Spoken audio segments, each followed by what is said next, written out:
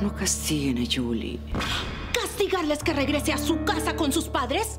¿A su tierra? ¿Al lugar que la vio nacer y del que nunca debió salir? No, claro que no. No quise decir eso. No hay marcha atrás. La Julie se regresa con nosotros.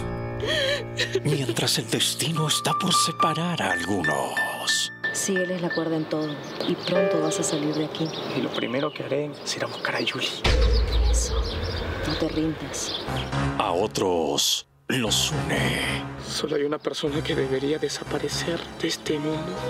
Cristóbal Montalbán.